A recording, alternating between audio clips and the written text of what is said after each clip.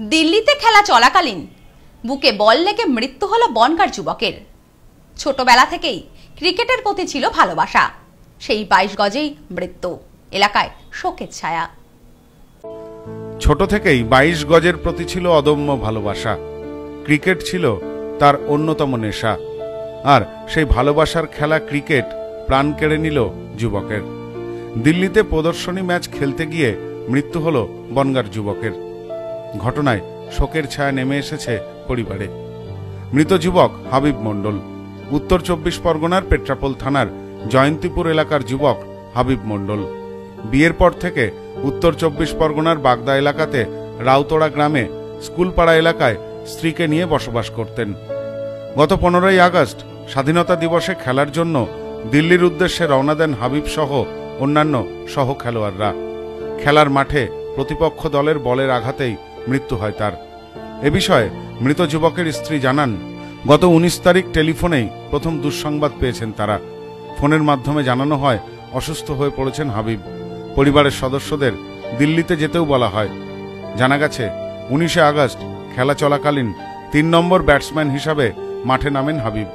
বিপক্ষ দলের পেস বোলারের বল লাগে হাবিবের বুকের বাঁদিকে। মাঠের মধ্যেই জ্ঞান হারিয়ে ফেলেন।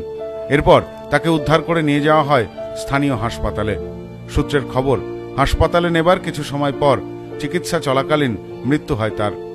এ বিষয়ে মৃত যুবকের শ্বশুর সোহরাব আলী মণ্ডল বলেন, আমাদের কাছে ফোন আসলো যে, এরাম, হাবিব, তোমার কি হয়? তা বলল হাবিব আমি বললাম, হাবিব আমার জামাই হয়।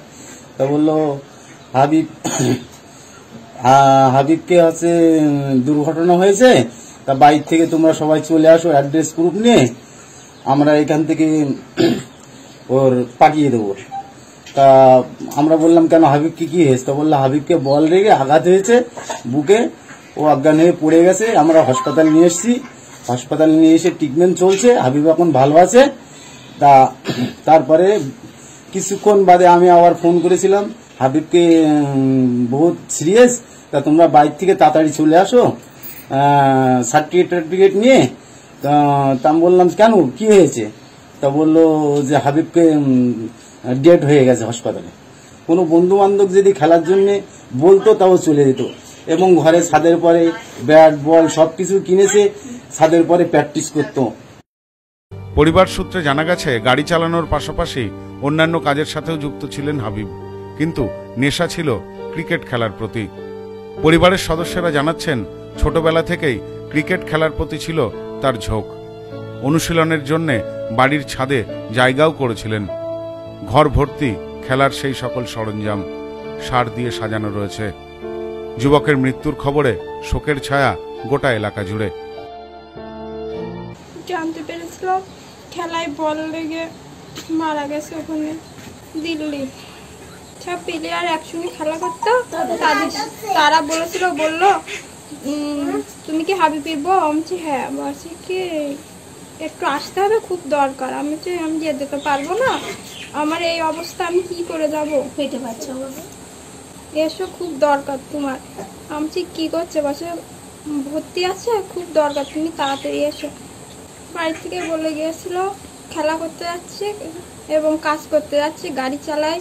তার প্রতি খুব মায়া ছিল খেলা না হলে থাকতে পারতো না। সবসময় খেলা খাওয়া দাওয়া ছেড়ে শুধু খেলা করতে যেত। সব্যসাচী ভট্টাচার্য ও সোমনাথ দাসের রিপোর্ট নিউজ নোম্যান্সল্যান্ড বনগা। আদি মোহিনী মোহন কাঞ্জিলাল বিপুল সম্ভার নিয়ে এবার বনগাঁতে। শিমুলতলা মোড় যশোর রোড। শুভ উদ্বোধন একত্রিশ